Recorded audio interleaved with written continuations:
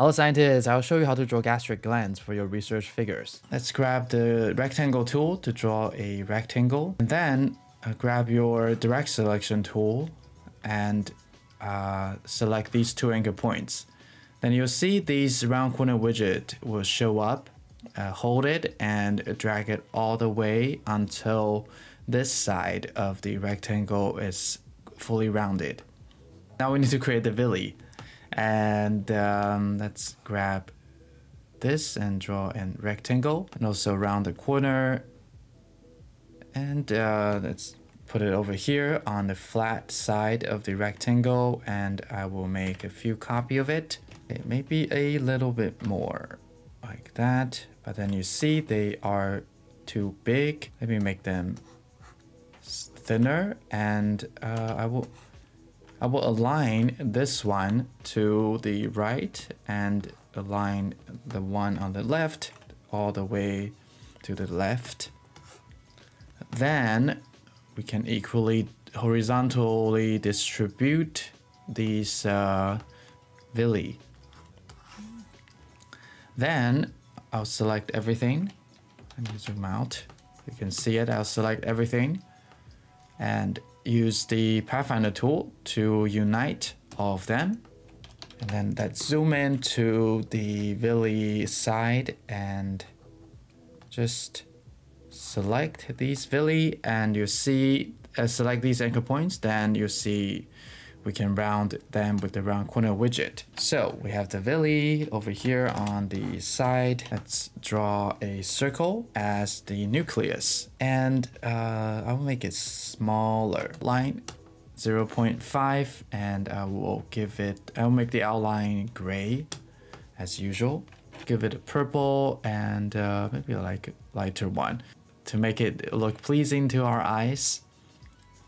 I'll make like this.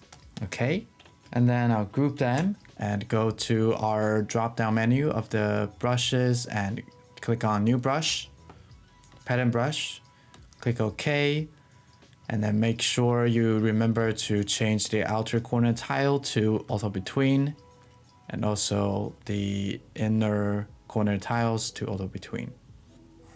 Now I'll move the unit over here and I'll make this, remove the fill, I'll select this and make anchor point to smooth. So we can have a smooth transition on the anchor points. Now select the path and then come to your brush panel and click on the brush that you made and you can adjust uh, how you want your folds to be. You can make these minor adjustments and here, let me see, I need to push this part a little bit inward. You can also add some anchor points to make the uh, shape of the epithelium more dynamic. I want to apply gradients into each of the individual uh, gland cells. So it will be a lot of work to do it one by one. I will show you how to do it all together at once. So let's uh, go to object, then expand appearance. So now you see each of the cells has become an individual object. I can ungroup it. Let me ungroup this again.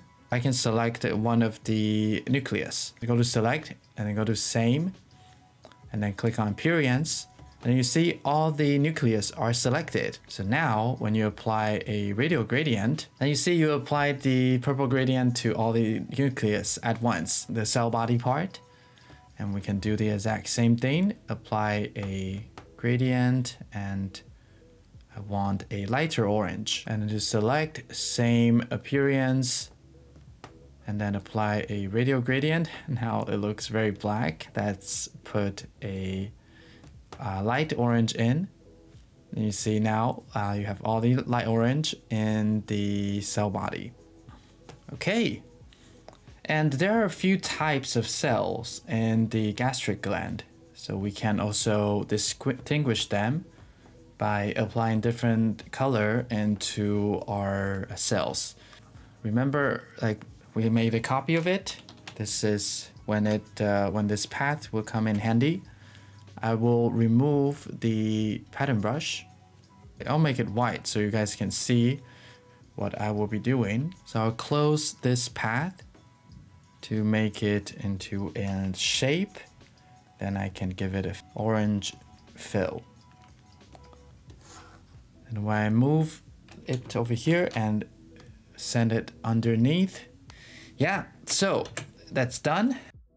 This is a cut version of my Twitch live stream. I live stream every Sunday, and uh, so you can come hang out with me on Twitch. Comment the topic you want to see in the comment section so uh, I can put it up on the poll. Make sure you go to the YouTube community tab. Every Friday, I put on a poll to vote for the topics. Thanks to the scientists who suggested this topic. Give a like and subscribe if you're new here, and I'll see you in the next video.